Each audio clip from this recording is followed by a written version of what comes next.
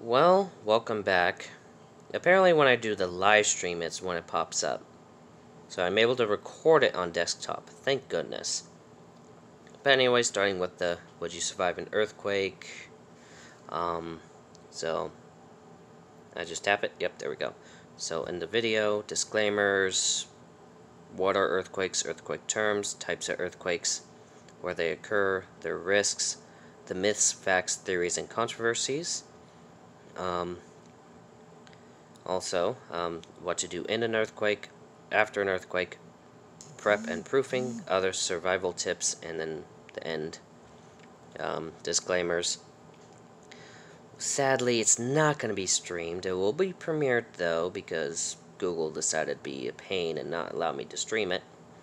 Anyways, any photos in this video are protected under fair use in purpose of education.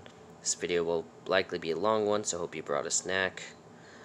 We'll be blunt on some of the topics, so if you get offended, easily tune out of the video now, or when you start to feel uncomfortable. I promise I won't be salty when you leave. And please don't go off on the comments on how this offended you, as that solves nothing. If you are, if you've seen this in, as you've seen in the in this video slide, I'll be covering controversies and theories including earthquake forecasting and lunar effects on earthquakes. Now, for the most of this is pseudoscience, and others it is pure science, and I will do my best to be objective and not subjective on either side. You can express your opinions, just don't be rude about it. Those of you who stayed, you have been warned, and get ready to be educated, edumacated, or whatever people want to call it. So, earthquakes is what occurs when a fault line or plate boundary releases stress, causing the ground to shake, crack, or even liquefy. Keep in mind this only applies to Earth on other worlds, you would add the other names like Marsquakes on Mars. Um, road that was destroyed after an earthquake, likely in the 6th range, not sure on location. Um, continuing on, earthquake terms. This segment I'll be covering the terms and lingo that involves in earthquakes like epicenter, waves, etc. Starting with the epicenter, um, which is where the earthquake occurred on the surface. Um, you don't need to be in the epicenter to feel the earthquake or experience its effects, but those in the epicenter usually see the worst that the earthquake has to offer.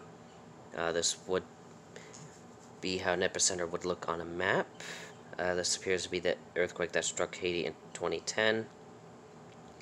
The hypocenter would be, or focus, would be where the earthquake occurred on the surface and how far deep it happened. Um, if the epicenter is deep enough, you won't feel a thing.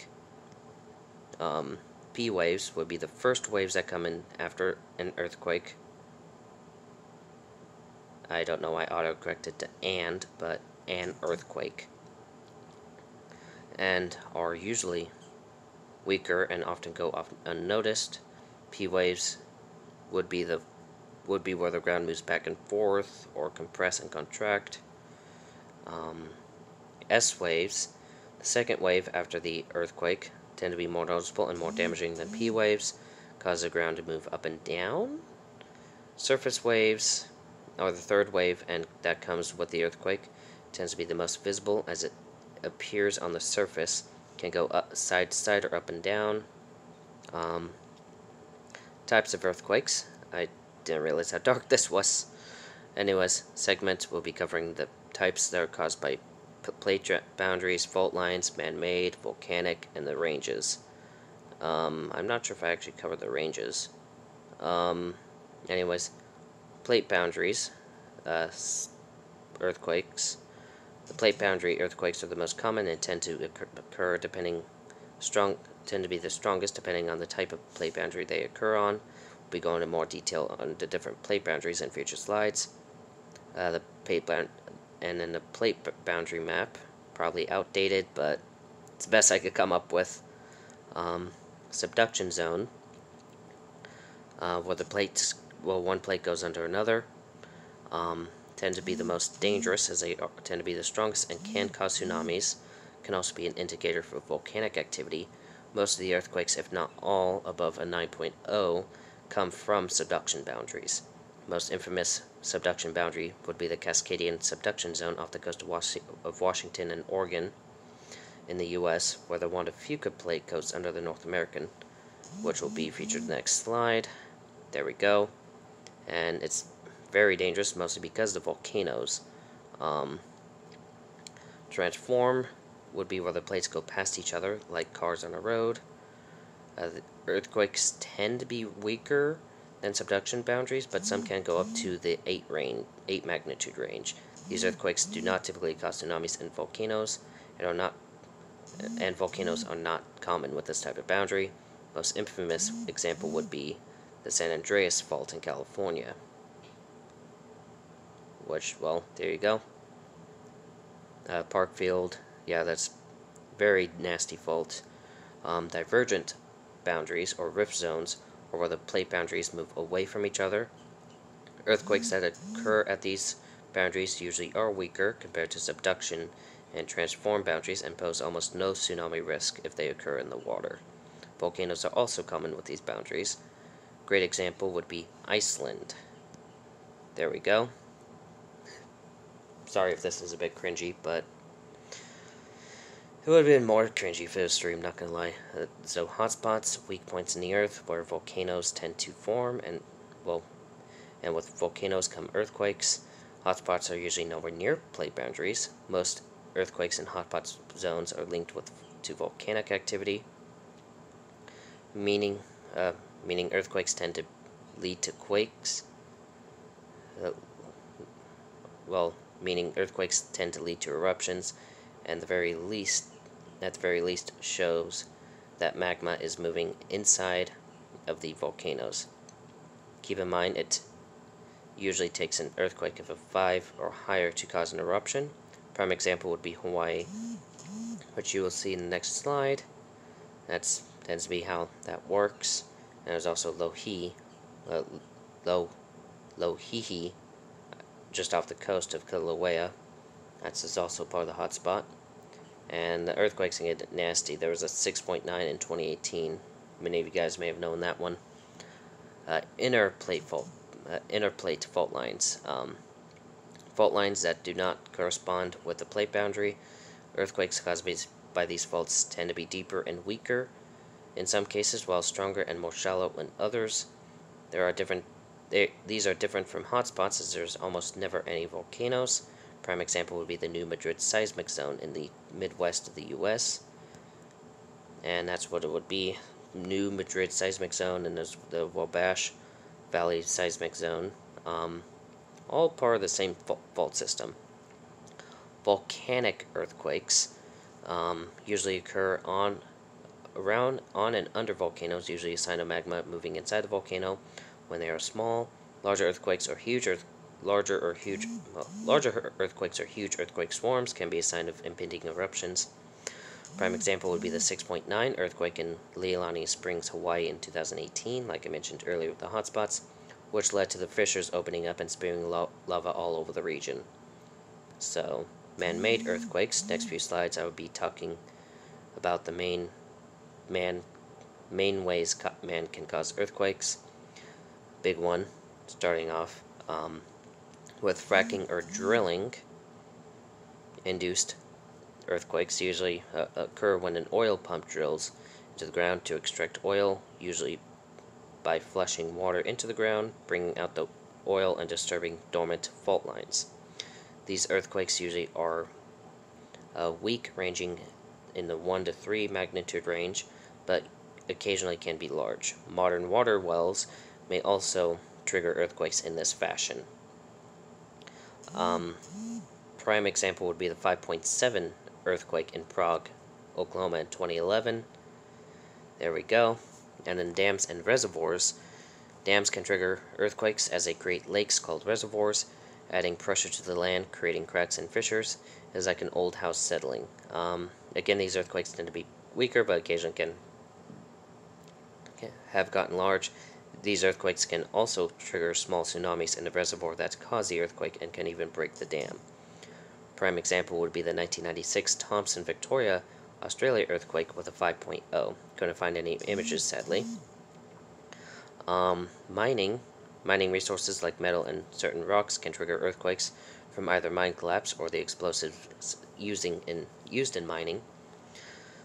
Uh, mining-induced earthquakes tend to be small and rarely go above 4 range, but doesn't mean that they can't be strong. Prime example would be the 1989 5.6 magnitude Newcastle, Australia earthquake, which has killed 13 people. So, geothermal plants should come at no surprise. Geothermal plants can trigger earthquakes, as you're literally drilling into geologically active ground to, to extract the Earth's, Earth's internal heat for electricity.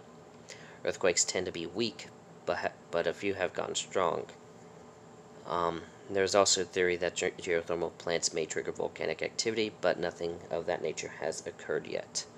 Um, prime example would be the ge uh, geothermal plant-induced earthquake was the 5.5 magnitude in South Korea in 2017. Extraterrestrial quakes uh, would be the earthquakes that don't happen on Earth, like Mars quakes on Mars or Venus quakes on Venus, etc. Um, I forgot to go over the magnitude ranges, but honestly should have.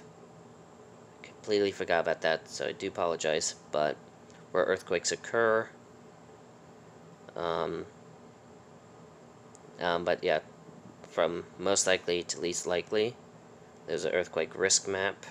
Um, let's see. Main hotspots will be West Coast, Hawaii, also, surpri well, surprisingly, South Carolina. And then there's the New Madrid fault zone. They're the main ones. Earthquake risks, um, falling buildings, collapse, well, falling objects, buildings, bridges, and shattering glass.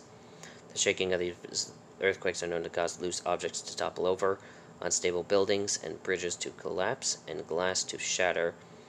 The hazard tends to cause the most injuries and deaths, especially with the collapsing buildings, bridges, and shattering glass. Keep in mind this hazard is more common in areas of poor infrastructure. Um, so it'll be important to keep tabs of the infrastructure.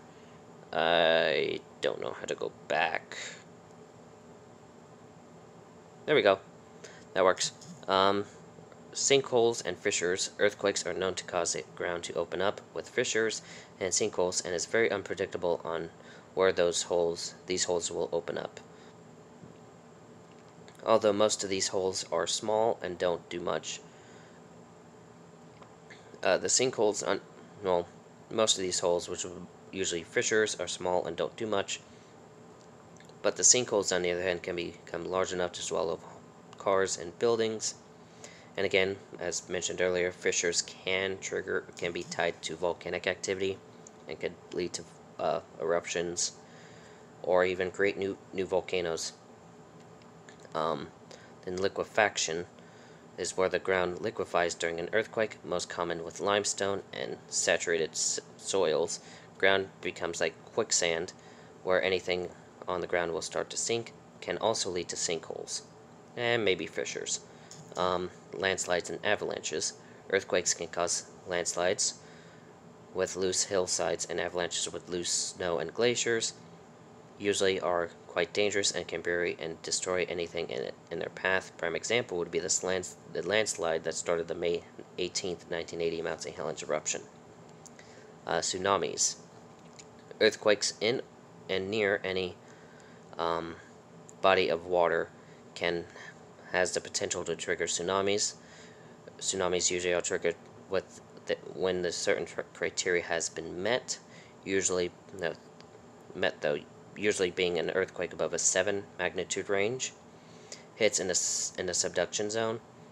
How to tell if an earthquake is coming is when the tide ret retreats farther and faster than usual. Like there's obviously the tides with the moon, but if it's faster than what the moon normally does, then there's a chance of tsunamis coming. A prime example would be the 2011 Japanese tsunami, which was triggered by a 9.0 magnitude earthquake on a mm. subduction zone. Rip currents a bit more controversial, but but there is also probability that earthquakes can cause a possibility that earthquakes can cause rip currents, similar to how they trigger tsunamis. Now, with rip currents, it also would bet would would often question if the threshold to cause a rip currents would be less than what causes a tsunami. And the volcanic and geyser eruptions. Earthquakes can lead to volcanic eruptions and sometimes geyser eruptions. As volcanic induced earthquakes are often signs of moving magma, same as can be said with geysers with magma and water. And if and when the earthquakes get large enough, it can trigger the volcano or geyser to wake up and erupt. Um, again, prime examples would be the 6.9 in um, Hawaii, which triggered the Kilauea to rupture a lot and over a wide area with fissures, and then the 5.7 and that triggered the Mount St. Helens eruption. Um, anyways, the earthquakes, myths, theories, and controversies and facts. Uh, this segment I'll be covering many myths, facts, theories, and controversies involving in earthquakes. These myths, facts, theories, and controversies may include earthquake forecasting, which may or may not, uh, and what may or may not influence earthquakes, seismic activity, also some wise tales that involve in earthquakes. Sadly, no one submitted any wise tales and I didn't know of any, so there won't be that. Um, there also would include more controversial risks with earthquakes. Um, so earthquake forecasting uh, would be the art of or science of predicting earthquakes. This would be the, on the more controversial side as the main science agencies like the USGS and NASA say it is currently impossible to do so while many folks on YouTube and other sources, many of you may already know, claim it is possible. The current known strategies to use, use to predict earthquakes will be featured in future slides. Solar activity. One earthquake forecasting theory is tracking solar activity. The belief is that the corona holes or holes in the magnetic field of the sun can lead to larger earthquakes when facing the earth. Earthquake patterns.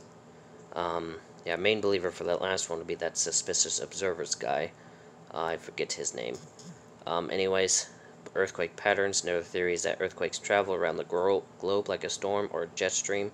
This theory also claims that earthquakes have a tendency to stay on certain paths. Uh, appears a main believer on that one would be Dutchsinse, but I'm pretty sure there's other factors with that. Um, tidal forces. Another theory is that tidal forces may have an effect on earthquakes. This I have noticed as well, with the larger earthquakes having a tendency to hit around the full and new moons. Um, so, yeah, like, honestly, look up any large earthquake that's like above a 6, 7, 8, or 9, and odds are there's it, it was like within a day or two of a full moon or a new moon, like, honestly. Um, there's another one I forgot to mention. Um, that deeper earthquakes tend to lead to shallow, or larger earthquakes. I wasn't able to do much research on that one. Otherwise, I would have included it. Um, anyways, earthquakes can cause heart attacks and, seizure, and seizures. There's a theory that earthquakes can cause heart attacks and seizures. Um, heart attack for heart attacks, earthquakes can trigger emotional and physical stress for those with acute coronary syndromes, which in turn can lead to heart attacks. For seizures, earthquakes cause shaking, which in turn can cause the body to shake and in turn can trigger seizures. These are most common with disorders like epilepsy and, and NES. Seizures tend to act like earthquakes as well. Um, both earthquake-induced heart attacks and seizures tend to be more common with aftershock swarms that are followed by large main shock. Main shock. It is advised for those with conditions that make them more vulnerable to heart attacks and seizures to avoid earthquake-prone areas. And I do repeat this um, later on in the um, thing. Um, anyways, what to do in an earthquake. Uh, we'll be going what to do in an earthquake to survive it. Going through the main three scenarios when it comes to earthquakes: indoors, outdoors, in a car. Um, so indoors, when earthquakes, when an earthquake, well, when indoors during an earthquake, you want to get under something sturdy like a desk, table, or even a bed if at all possible. Um, it is poss if at all possible, put something on your head like a helmet or a sturdy hat to soften any blows. Stay still in, this, in that safe spot until protecting head and body until all shaking stops. When outside, you'll want to go um, away from any buildings, poles, power lines, and trees that may fall on you.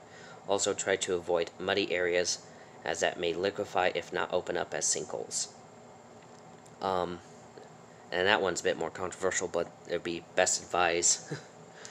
um, anyways, in a car, when driving, you may not notice the shaking at all until you see damage actually occurring and people running. When that occurs, just avoid such damage and people or even pull over somewhere safe and you should be fine. When in a parked car, you will notice as the car will start bouncing. Just pull away from anything that may fall on you, then park again and wait for the shaking to stop. Um, and what, what to do after an earthquake will be same scenarios, but there we go. When indoors, you will want to shut off all utilities, water, gas, and electric to prevent flooding and fires and explosions. When evac then evacuate the building in case of collapse. If needed, evacuate the city, eh, region, or area in case of explosions, and especially if you're on the coast in case of tsunamis. You may have to camp outside for a few days in case of aftershocks. If you're trapped, dial 911 or use life alert if you have it. Scream for help, but try to conserve oxygen if you don't feel a draft, as, you know, if you're trapped, but if you feel a draft, there's a way for air to come in, so you should be fine and don't have to worry about uh, suffocating. But if you don't feel a draft, then it's completely airtight and you would be limited on oxygen. Um, but anyway, well, also if you feel a draft, there might be a way for you to get out. Um, anyways, if outside, not much is needed to do depending on where you are at. If nowhere near buildings or anything flammable or the possibility of flooding, should be safe where you are at if near a water, if near the water of like a large lake or the ocean, you will want to go as far inland as possible to avoid tsunamis. If near the mountains, you may want to evacuate away in case of avalanches and, well, and slash or avalanches. Same would be with volcanoes in case of eruptions. Avoid down power lines, and also, if at all, if, if at all possible, avoid um, wet spots, muddy areas, as that could be quicksand. And if you happen to be stuck in quicksand, just uh, spread spread out your body as much as you can and remain calm.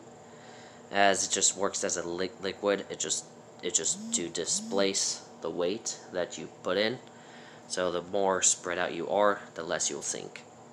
Um, well, in the car, it'll be the same as if you were outdoors. And with the flooding, turn around, don't drown. Um, so from there, earthquake prep and proofing. We'll be going over tips to help minimize damage and injury from earthquakes. This will more or less be a list versus multiple slides, even though the list will end up being multiple slides anyways. So tips are earthquake proofing, bolt down furniture and appliances to the ground and walls to keep them in place and less likely to fall over. Put child safety locks on cupboards, appliance doors, and drawers to keep them closed and prevent stuff from falling out. Mount TVs to walls to keep them in place. Use wood instead of sheetrock, bricks, or concrete when building homes, as wood is more flexible and less likely to collapse. Now, if you have the tech or the resources to do so, could also build homes like how the Incas built their cities. Like it's like a jigsaw puzzle, but with stones. Perfect uh, placement for earthquakes. Um, it lasted for that long with earthquakes, so I'm sure it would work with modern day.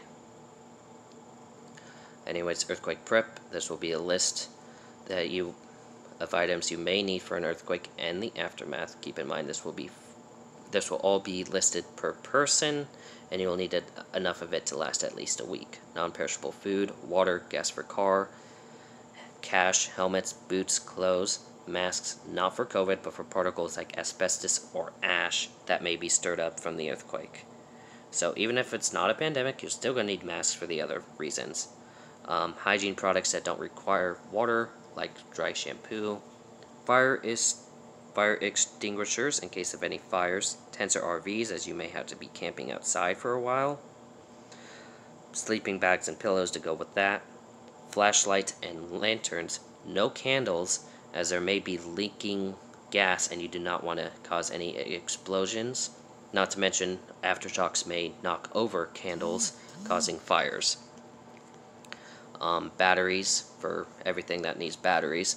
spare tires, spare car battery and jumper cables, copy of identification paperwork like ID, birth certificate, social security number, etc., insurance, proof of insurance, generator, sanitation, gloves, toiletries, feminine products, even if you are not female, as pads and tampons can be used for any bleeding, first aid kits, tennis rackets, or snowshoes large enough for you to put on your feet in case of quicksand from liquefaction. That would again be part of the distributing the weight and less likely to sink. Chainsaws and axes for any downed trees. Um, for those who have, well, other uh, survival tips would be again repeat it for those with health issues, whether at risk for heart attacks and slash or seizures, or will or one of those health issues where you're in for uh, surgeries a lot or need needles a lot, I would suggest avoiding earthquake-prone areas, as it could trigger earthquakes and seizures, and nobody wants wants to be in the middle of a surgery or have a needle in their arm when they're when an earth, earthquake hits. That's like death sentence right there.